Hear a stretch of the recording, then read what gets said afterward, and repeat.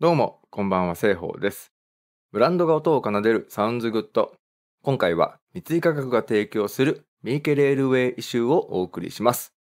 Miike Railway Issue では2020年5月に129年の歴史に幕を下ろした福岡県大牟田市の炭鉱電車に感謝を伝え、未来へ向けたレガシーとしての活用を目指すありがとう炭鉱電車プロジェクトの一部として、音に注目して炭鉱電車の魅力、そして記憶を伝えていきます。お届けするのは私、聖宝です。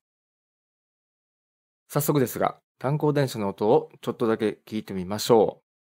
入れ替え進行終戦う。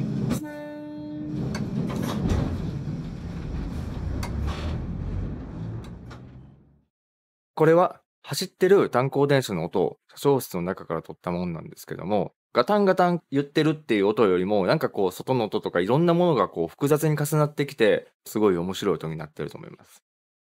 昔は近くにあった三池炭鉱で採れた石炭を積んで走っていたことから炭鉱電車って呼ばれていますが、97年に三池炭鉱が閉山してからは、大牟田駅と三井化学の工場の間を貨物を引いて走っていました。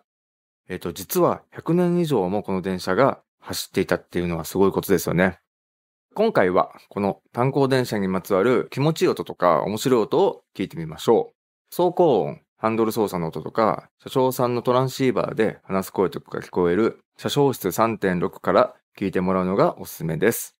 今ではもうこう聞くことができないってことで、すごいこの音自体も貴重やし、珍しい音もすごい多いので楽しめると思います。サウンズグッドではこれからもなくなっていく音や消えつつある音を資産として守って未来へ伝えていこうと思います。えっ、と、僕も大牟田に行ってみたんですけども、えっ、と、大牟田に行く前は、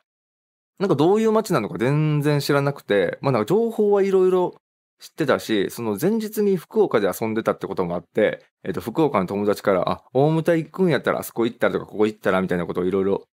聞いてたんですけど、行ってみて思ったのが、やっぱりこう、人がすごいこう近いというか、人がすごい優しい感じがあって、まあその三井化学でお世話になったスタッフの皆さんとか、それこそ駅舎の中で働く人らとことあって、あ、なんかこんなに温かいところが今もこう残っているんやなっていうのがすごいこう、自分の中でも感動したポイントでした。